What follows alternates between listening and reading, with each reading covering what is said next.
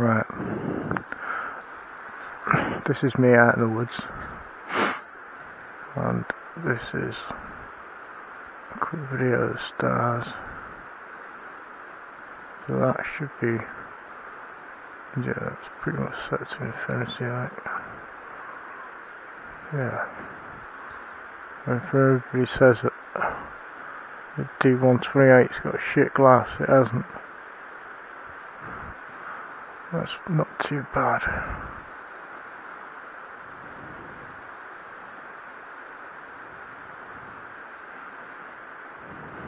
That's very bright. I think it's a planet. Probably. Yeah. I don't know if my little mini laser will overwash the Gen 3.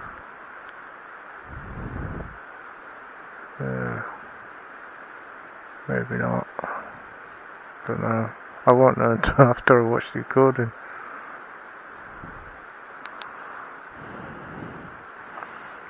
But I know my other two do. Uh, that one, I think, which is that one there. That one always. See the pulse one. that one always sort of uh, causes it to wash out.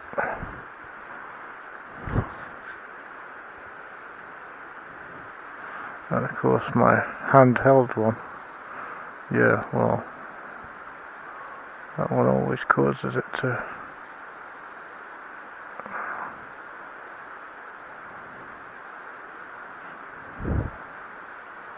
yeah.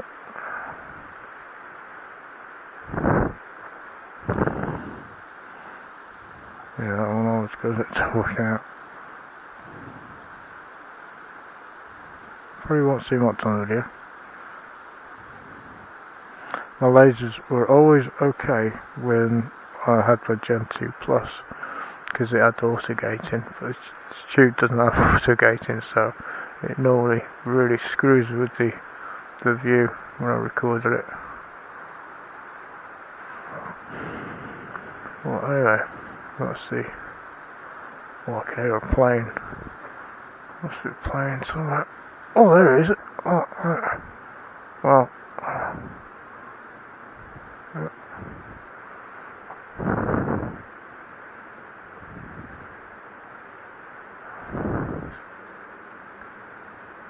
Let's try to focus on it a bit better. So anyway, that's the star view.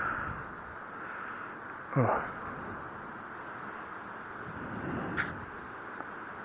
Try to focus in a bit better.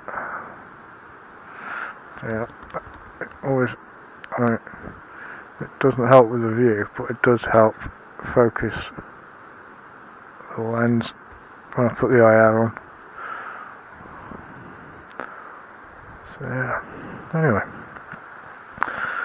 that is the starlight view. Uh, on my, well, it's not a Dipol, it's a uh, Cobra Optics Demon, but it's pretty much exactly the same as the uh, Dipol D128.